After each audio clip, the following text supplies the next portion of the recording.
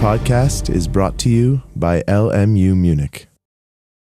Okay, so uh, so the problem number two uh, is about uh, finding appropriate condition for uh, boundary of conformal field theory, which preserve the topological BRST symmetry.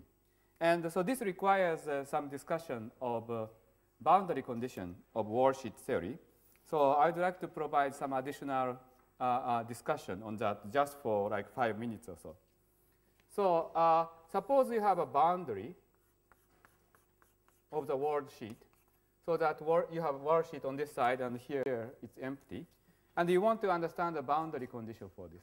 So last week I understand that there was some set of lectures for on introduction of string theory. So was there any discussion of D-branes? So you, you had the definition, uh, this discussion. So for example, if you have uh, uh, worldsheet coordinate x, uh, sorry, uh, the string, uh, bosonic string variable x, which maps uh, worldsheet to some target space, then if you have a derivative operator on the worldsheet along the boundary, which I denote by del parallel, and this is uh, del partial, then Dirichlet condition can be written as the derivative of x along the boundary to be equal to 0, whereas Neumann boundary condition should be the derivative of x along a, a transverse normal to the boundary should be equal to 0. So this is a standard notation. Well, if I use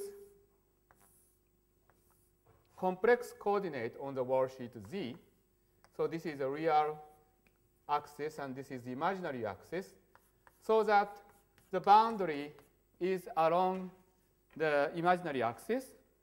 Then the Dirichlet condition can be written as del x is equal to del bar of x. And Neumann condition is del x is equal to minus of del bar x, as you can easily figure out. Now, so the first problem set has to do with the question of how we can choose a boundary condition that preserves this uh, BRST symmetry. Uh, so the so uh, topological BRST symmetry. Excuse me.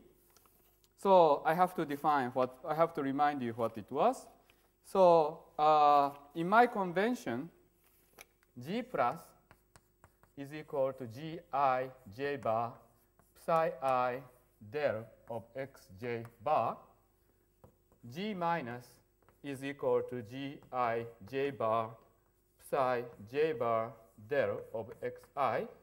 And although I didn't write that explicitly, G bar plus is gi j bar psi bar of j bar of del bar of xi. And the g bar of minus is gi j bar psi uh, i bar of del bar of xj bar. So there are these four supercurrents. And please excuse me. So in the case of A model,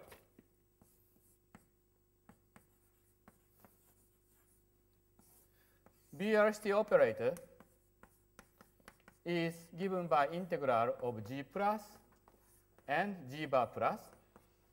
And in the case of B model, BRST operator is given by integral of G plus and G bar minus.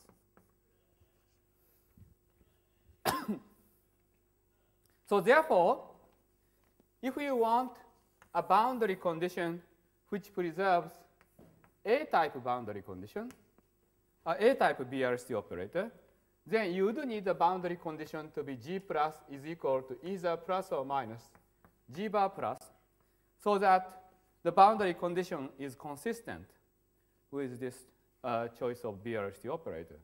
In the case of B-type model, you want G plus to be plus or minus equal to g bar minus.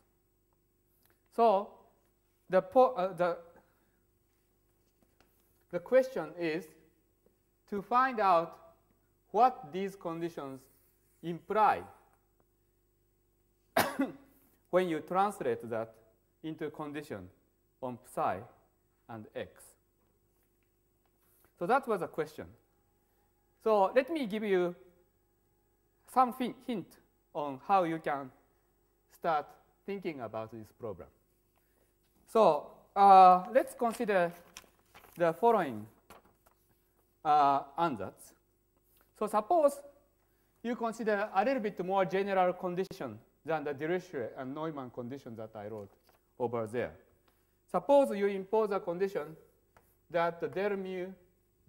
So suppose uh, so here I'm choosing using complex coordinate i and i bar. But suppose I, I choose some real coordinate x mu. so i was going from 1 to n, for example, in the case of Calabi-Yau n-fold, mu can go from 1 to 2, 2n. So suppose you consider a general mixed boundary condition like that. In order for this boundary condition to be consistent with worldsheet supersymmetry, you would also want the boundary condition for the fermion to be like that. Then you can show that if we want energy momentum tensor to be conserved under the boundary condition, and if you, in addition, want the n equal 1 supercharge to be conserved, where G is the sum of uh,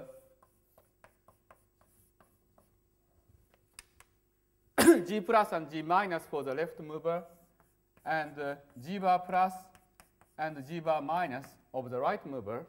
If you like, this corresponds to n equal 1 superconformal generator. If you require this boundary condition, then you can show that this implies that uh, G mu nu, R mu rho, R nu sigma is rho sigma. Namely, that means that uh, this matrix is essentially rotation matrix, O2n matrix, with respect to this metric. Well, this is, a, this is one thing, first thing that you may want to check. And these conditions are stronger than that. So that means that it would mean, give you some further condition on this matrix.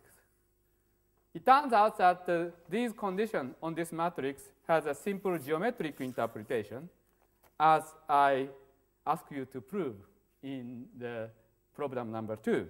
That is, that in the case of A-type brane, it gives you the condition that the subspace on which the boundary is ending, namely the configuration of the D brane, being that it is a Lagrangian submanifold. Whereas in the case of B-type boundary condition, it means that the D brane is wrapping on holomorphic submanifold. So that's what I want you to show. Sure.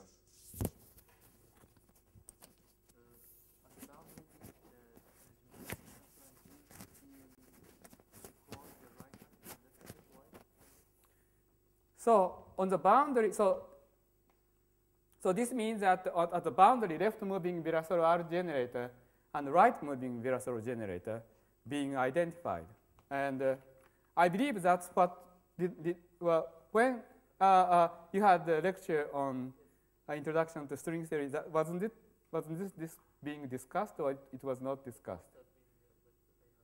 Yeah. So well, I think that this this is a basic property that D brane should satisfy in order for the boundary condition to be compatible with the Virasoro constraint. Any other question? Okay, yes.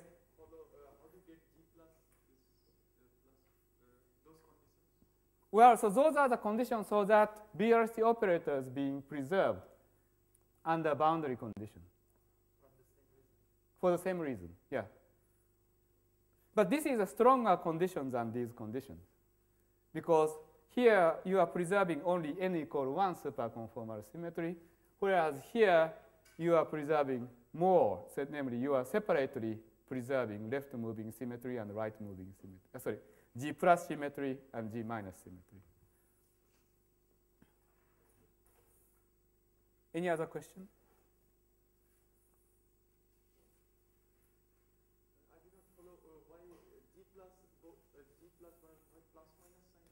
Ah, okay, so uh, you have that because, uh, actually I should have also put that over here.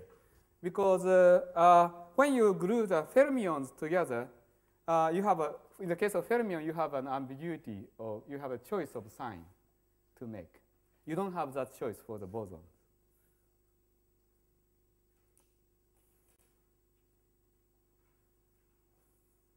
Okay? So now I guess you can go on and try to solve it, but you can of course raise your hand and ask uh, any question.